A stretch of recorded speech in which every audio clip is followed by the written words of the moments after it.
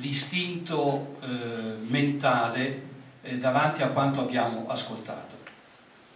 Cercherò di fare l'uno e l'altro, ma innanzitutto vorrei eh, esprimere la mia grande eh, soddisfazione perché ci sono delle associazioni, e qui ne abbiamo una testimonianza, che si dedicano a sensibilizzare sul grande valore della vita. E la vita, lo dico eh, senza eh, polemica e senza voler essere eh, populista, la vita, cari amici, non è mai e non può mai essere sottoposta a dei bilanci. La vita è un bene talmente prezioso che non ha valore e quindi non si può pensare che per dei budget che debbono essere destinati e la vita va in un pericolo perché manca un defibrillatore in una università, in una scuola, in un liceo, in un campo sportivo. Lo Stato deve essere anche capace di fare delle scelte. Allora se un defibrillatore costa circa 1000 euro vorrei capire quanto costa invece un carro armato o quanto costa un aereo che eh, deve sganciare qualche bomba. Allora se abbiamo possibilità di fare qualche carro armato in meno, senza naturalmente mettere a rischio tutta l'industria e tutte le persone che lavorano, ma qualche carro armato in meno e qualche defibrillatore in più, io credo che il cittadino sarebbe un po' più sicuro. Ma lo dico questo con convinzione, perché quando in una famiglia o quando uno deve gestire, allora è inevitabile che se c'è un tot questo tot che deve essere gestito ci sono delle priorità. Io ritengo che una priorità debba essere quella della vita, ma la vita sempre e la vita dovunque. Qui mi inserisco nel tema che devo dire è troppo generale per un teologo, quello del senso religioso. Io non parlerò tanto del senso religioso. Qui ci sono, vedete, due espressioni che vanno alquanto eh, specificate. È vero che in ognuno di noi c'è un senso religioso, in ognuno, anche in chi non crede in Dio, c'è quel senso religioso perché l'uomo è aperto, poi lo chiamerà Dio, lo chiamerà in tanti altri modi, ma l'uomo è aperto al trascendente. Tanto è vero che anche nel nostro linguaggio noi immettiamo questa dimensione. Vedete, se uno che non crede in Dio e dovesse essere conseguenziale non dovrebbe neanche utilizzare l'espressione verbale rianimazione e dovendo essere conseguenziale però non comunicherebbe più. Noi abbiamo immesso nel linguaggio quello che è una delle componenti concettuali della nostra esistenza. Rianimazione significa che noi consideriamo che c'è una presenza di un'anima. E che cos'è l'anima? L'anima è quella che va al di là del semplice bios. Vedete, i greci che eh, ci hanno consegnato un patrimonio di cultura, i greci avevano due espressioni per indicare la vita. Avevano bios, che viene coniugato anche, che viene declinato anche al plurale, ma avevano invece anche zoe, e zoe si dice solo ed esclusivamente al singolare. Questo vedete, deve farci riflettere i greci non erano cattolici, evidentemente, ma i greci avevano la capacità di dover, lo abbiamo visto anche dai vari miti che abbiamo ascoltato, la capacità di dare uno sforzo molto forte alla razio, alla ragione, perché nella sua capacità di speculare, di arrivare a concepire la realtà come è composta, poi la mettevano anche nel linguaggio. Ci sono le vite, L'uomo è bios, io sono questa realtà che è carne, che è cellule, che sono nervi, che sono muscoli, che sono tutta questa realtà. Ma in me c'è anche il principio della zoe e se io l'ho immesso nel linguaggio devo essere conseguenziale. In me c'è un principio di vita. Gli ebrei lo chiamavano nefesh, e questo è uno dei motivi per cui eh, quando là, le due dita del creatore e di Adamo eh, sembrano quasi attaccarsi, eh, che hanno un significato teologico profondo, perché vedete quando si va a vedere nella Cappella Sistina, eh, lo riproduciamo lì, quel digitus paterne dextere è quello che noi cantiamo, il digitus paterne dextere, quello perché evidentemente la grandezza dell'artista eh, non poteva pensare di rappresentare lo Spirito Santo come una colomba, come noi eh, volgari eh, imitatori facciamo. Lo Spirito Santo mettiamo sempre una colomba, no? Eh, ma eh, Michelangelo è un artista, come te a fare una colomba? Ma il genio dell'artista, il digitus cantava digitus paterne dextere e quello è il digitus paterne dextere, quello è lo Spirito Santo. Lì c'è il principio della vita che viene dato, lì c'è la zoe, lì c'è il nefesh, lo possiamo dire in tutte le lingue, ma il principio rimane lo stesso. Noi non siamo soltanto ciò che mangiamo, come eh, amava dire eh, Feuerbach, Marx e via dicendo. Noi non siamo soltanto quello che mangiamo. In noi c'è un principio in più. E c'è quel principio che dà vita e che può essere coniugato soltanto al singolare. Come questo avviene, come questo si abbia a realizzare, questo vedete io non lo voglio dire alla fine, alla fine di tutto il percorso che la scienza fa, deve fare ed è obbligata a fare. Io lo dico dall'inizio, proprio perché sono teologo. Noi siamo un enigma a noi stessi, noi siamo un mistero a noi stessi. Chi è questo uomo? Chi sono io? Il grande problema che noi viviamo alla fine è questo, è il dover riflettere sulla nostra identità, il chi sono io, la domanda chi sono io.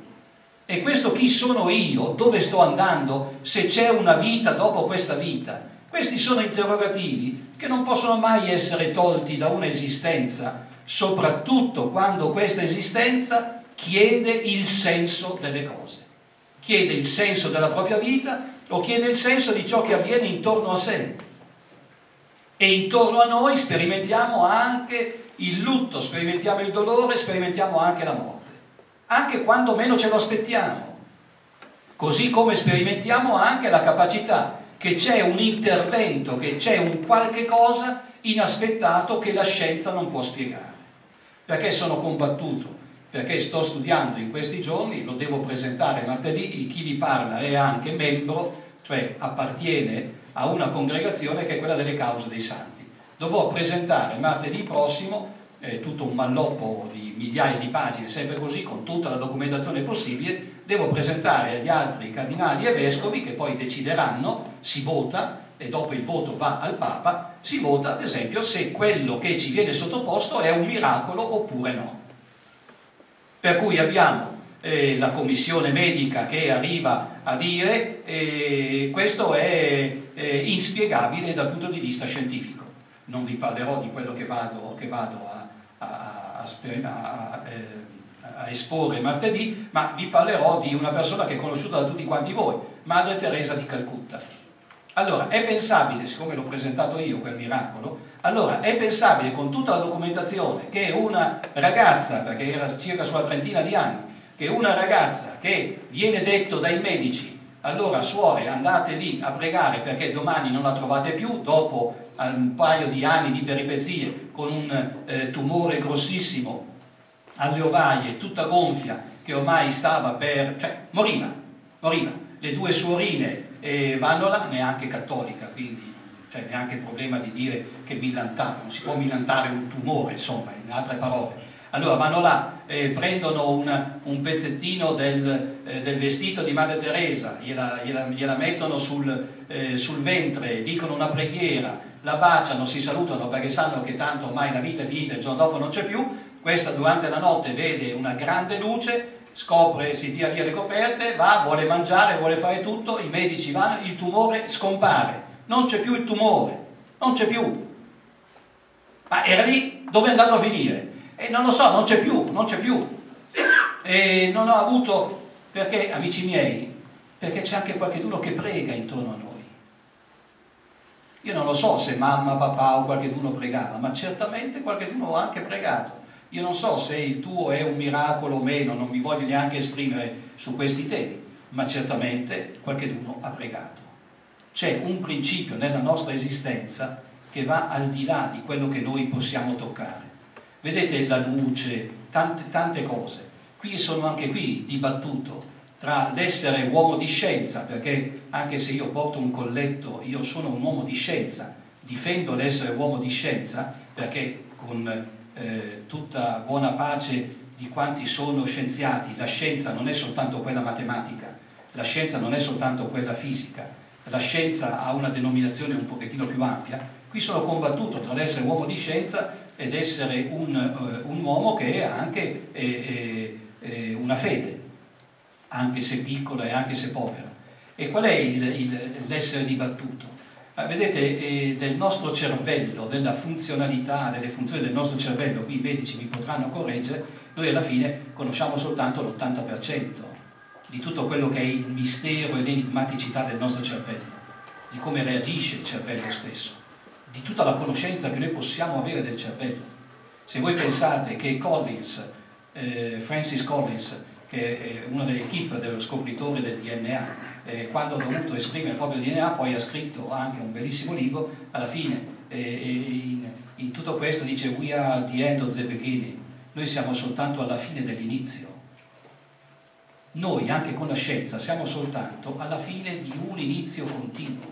Abbiamo scoperto il DNA da circa dieci anni e ancora non sappiamo assolutamente niente di tutto questo. Sì, abbiamo scoperto l'elio, abbiamo scoperto tutto quanto, però che cosa c'è ancora? Ma è tutto da scoprire, davanti a noi è ancora tutto da scoprire, come conseguenze, come... è ancora tutto da scoprire, perché noi siamo un enigma a noi stessi, anche la macchina più perfetta, anche tutto quello che cercherà di imprimere dentro il nostro corpo qualche cosa, alla fine ci sarà qualche cosa che sfugge sempre. Come sfugge al nostro stesso linguaggio il dover raccontare l'esperienza che abbiamo avuto. Qui aveva ragione Wittgenstein, vedete, Wittgenstein è stato un grande perché da, da filosofo ha, ha, studiato un pochettino il linguaggio, dice noi viviamo all'interno di una gabbia, la gabbia del linguaggio, ma perché quando io dico ti amo, io dico tutto quello che sento dentro di me, no, sento molto ma molto molto di più, però dico soltanto ti amo, poi dopo ho tantissime altre cose che non posso esprimerti, allora ricorro a dei segni, ricorro a qualche cosa, ti porto la rosa il primo mese di fidanzamento, ti porto tante cose, ricordo tantissime cose, che, che quell'esperienza che è stata vissuta, come posso raccontarla? Non ho, non ho le parole, non ho le parole. Vivo all'interno di una gabbia che mi impedisce di esprimere tutto ciò che ho sperimentato. E allora ricorro alla luce, ricorro a tante, tante espressioni che indicano, indicano qualche cosa non vorrei tediarvi ancora di più e non ve lo voglio neanche dire perché poi è un'esperienza anche molto personale, ma certamente un'altra di queste. Io ho avuto una peritonite, ma senza neanche saperlo, perché cosa, cosa sapevo che avevo la peritonite? Non sapevo. Eh, io avevo un po' di dolori, poi lo devono dire loro se ha la peritonite. Ma se uno non sa che ha una peritonite muore, perché di peritonite si muore. E una, una morte più imbecille di quella uno non la poteva fare. Perché? Dici, ma come? Perché i medici, poi io lì, un caro amico che conosco da, siamo cresciuti insieme, dice ehi ti abbiamo salvato eh, per i capelli. E questo è il segno che non ne ho più. Ha detto ti, ho, ti abbiamo salvato per i capelli. E chiedo perché stavi per morire? Io come stavo per morire? Mica avevo niente. Perché io pensavo cioè io continuo ancora a pensare che con tutti i santi e i beati eh, che io faccio fare no? io ritengo, ritengo che quando sto per morire ma io penso davvero io, io penso che cioè io penso questo che nel momento in cui sto per morire tutti questi mi vengono incontro. E, e mi vengono incontro per dire grazie perché così vieni con me eccetera eccetera. Adesso ve la racconto così ma insomma eh, invece non, io non ho visto nessun santo nessun beato e questi mi venivano a dire che stavo per morire. Non era vero non era vero. Chiaramente io dovevo vivere e spero ancora per un po' di tempo per eh, dare fastidio a parecchie altre persone. Ma la conclusione mia è questa. Eh, vedete noi abbiamo un grande compito, soprattutto noi che abbiamo diverse responsabilità, ed è il compito che tante volte dobbiamo essere capaci di lungimiranza. Noi non possiamo sempre attendere che ci sia una morte per dover prendere coscienza o consapevolezza di qualche cosa. Siamo stanchi di tutto questo.